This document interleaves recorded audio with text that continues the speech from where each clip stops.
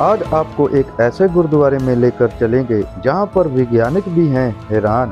टेढ़े मुँह या लकवा हुआ हो और ऐसे कई बीमारियों को दूर करता है सिर्फ़ पाँच मिनट देखने भर से।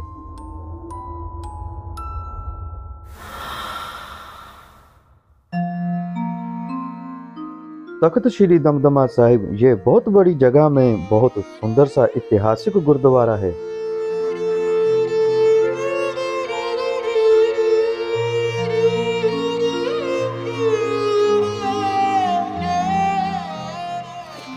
तख्त श्री दमदमा साहिब में है। ऐतिहासिक शीशा संगत की बीमारियों को दूर करता है। रोज़ाना बड़ी संख्या में संगत शीशे के दर्शन के लिए पहुँच रही हैं।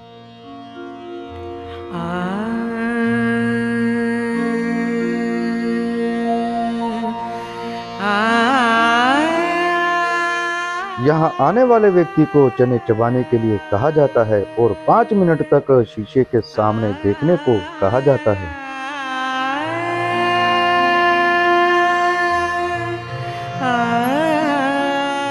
और उनके लकवे की बीमारी ठीक हो जाती है, इसका सबूत यहाँ आने वाली संगत बताते हैं।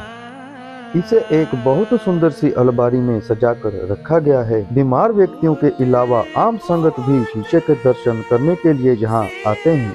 और यहाँ पर रुकने वाली सात संगत का भी पूरा खाने पीने और रहने का प्रबंध किया जाता है।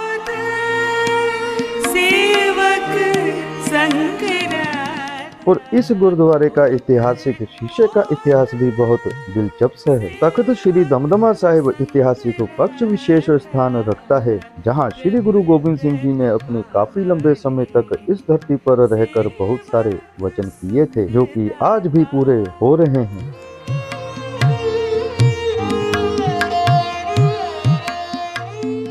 इसमें से ही एक तख्त श्री दमदमा साहिब ऐतिहासिक शीशा जिसको देखकर बीमार लोगों की बीमारियाँ दूर हो जाती हैं।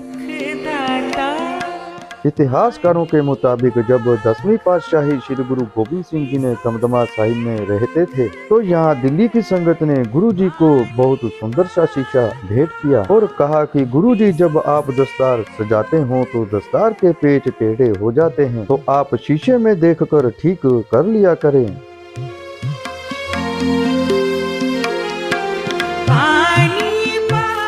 तब गुरुजी ने शीशा देखकर कहा कि दस्तार तो आम शीशे से भी सीधी हो जाएगी, पर ये शीशा जिनके लकवे की बीमारी से मुँह टेढ़े हैं, उनके मुँह सीधे होंगे।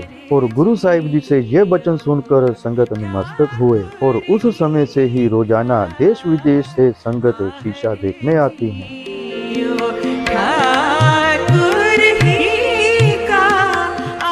दुनिया में बहुत से ऐसे गुरुजनों के स्थान हैं जहाँ पर विज्ञान फेल हो जाता है। उनमें से ये एक स्थान है जहाँ पर आप अपने मन की शांति मिलती महसूस कर पाएँगे। ज़िंदगी एक भाग दौड़ भरी कहानी है और आप और हर व्यक्ति कहानी लिख रहा है। आप अपनी कहानी में कुछ समय, कुछ पल ज़रूर निकाल कर इसे लिखें। यकीन मानिए, आपकी ज़िंदगी को देखने का नज़रिया बदल जाएगा।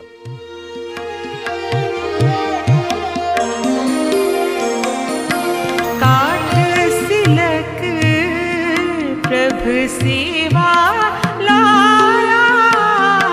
काठ सिलक प्रभु सेवा लाया।